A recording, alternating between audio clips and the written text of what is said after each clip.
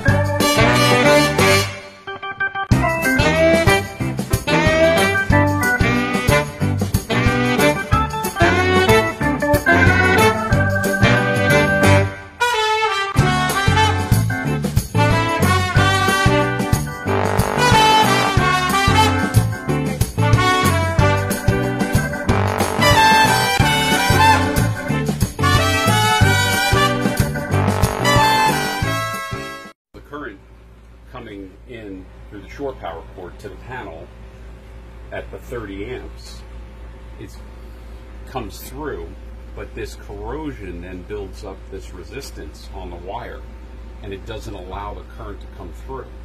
Oh, Then it builds up heat.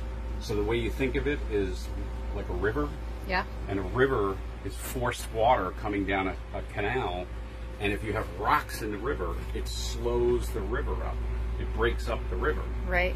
So that creates resistance and that's what happens with current passing through a line if you don't have a clean wire that resistance builds up and then you build up heat and as you heat this melts all the, the insulation melts and then at this point it got so hot that it popped off with little juice So what was the insulation? Is this, This like a rubber? Yeah, this is the insulation on the outside, and it corroded all the way through to the wire, and you can see it's all burnt.